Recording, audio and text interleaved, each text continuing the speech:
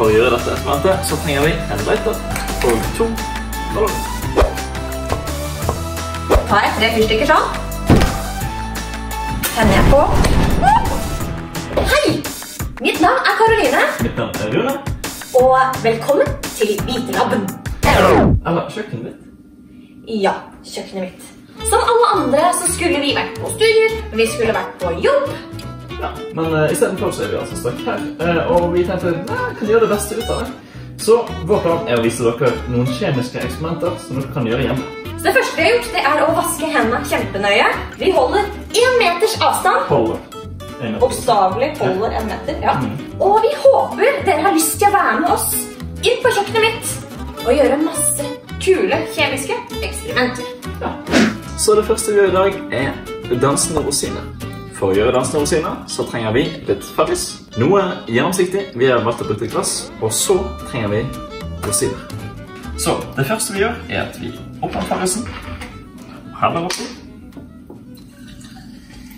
og passer på at det er bobler i farrisen. Det er en god idé. Så er det bare å ta en neve med rosiner, og så ser vi hva som skjer. Og hva er det som skjer nå? Vel, det er CO2-gass eller kullsyre i farris. Noen gassbobler vil feste seg på rosinene og trekke de med seg mot overflaten. Der sprekker boblene, og rosinen synker til bunnen. Slik får vi dansende rosiner. Det neste vi skal gjøre, er å lage en skymaskin. Og da trenger vi en myk flaske, sånn som denne, som vi skal fylle ca. halvfull med vann. Vi trenger korken til flaska, og vi trenger fyrstikker. Da håper jeg at alle sammen har fått fylt flaskene sine sånn cirka halvfulle med vann. Og så skrur vi av korken.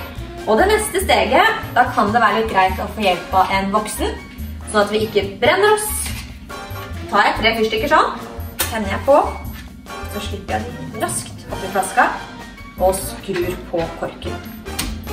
Og det vi skal gjøre nå, da må vi trykke på flaska og slippe. Så må vi trykke igjen og slippe. Det må vi gjøre en del ganger.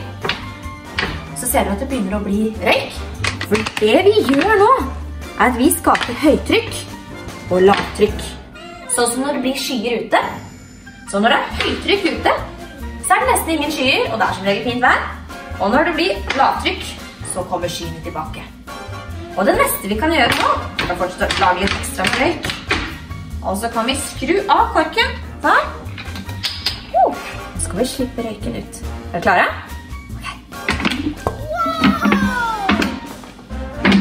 Så har dere deres helt egne skymaskin.